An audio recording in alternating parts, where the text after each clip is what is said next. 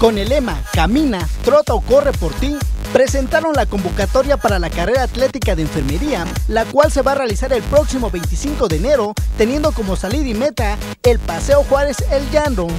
En conferencia de prensa, Nieves Ignacio García, integrante de la comisión organizadora, señaló que en esta justa deportiva se espera la participación de más de mil atletas y se hace con el objetivo para disminuir los índices de obesidad. Uno de los motivos más importantes que persigue esta carrera atlética es fomentar la actividad física dentro de la comunidad de enfermería, del área médica, pero también fomentarla dentro de la sociedad en general.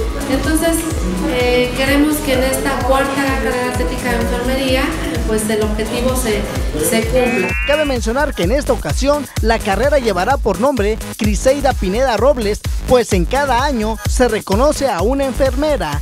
De esta manera, el comité organizador hizo la invitación a los atletas del estado para que participen en esta justa deportiva, donde la inscripción será de 50 pesos.